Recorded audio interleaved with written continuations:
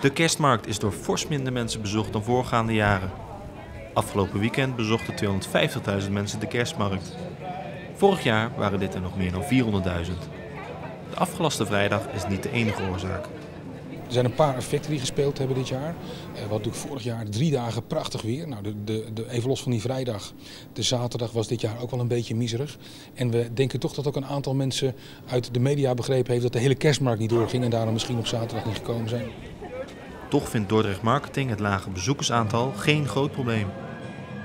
Op zichzelf zijn bezoekersaantallen zijn geen doel op zich. Hè. Die aantallen die we in voorgaande jaren hebben gehaald, die vinden we ook leuk om weer te halen.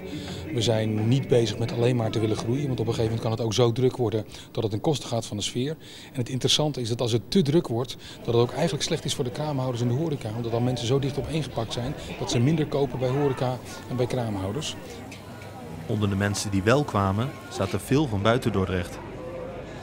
Wat ons opviel is dat we dit jaar ook veel Frans, veel Engels hebben gehoord. Um, en dat we ook, zoals overigens wel vaker in Dordrecht de laatste tijd, ook veel uh, Vlaamse nummerborden hebben gezien. Dus we zien wel dat het gezelschap wat we trekken steeds internationaler wordt, ook wat dat betreft. En dat de kerstmarkt daarmee uh, toch ook wel steeds meer de kerstmarkt van Nederland begint te worden. Dat vonden wij zelf wel dat hij dat was. Maar je ziet het ook daar wel in terug, denk ik. Het duurt nog even, maar als het weer meezit, worden er volgend jaar weer 400.000 bezoekers verwacht. Intern zijn er altijd heel veel punten waarvan we zeggen, daar moeten we toch volgend jaar nog eens even naar kijken. De routing daar, die kan net iets intelligenter als we nou dat eens doen, als we nou dat eens doen. Dus we, zijn, we beginnen ergens, laat ik zeggen, eind januari, begin februari weer met na te denken over de kerstmarkt van 2015.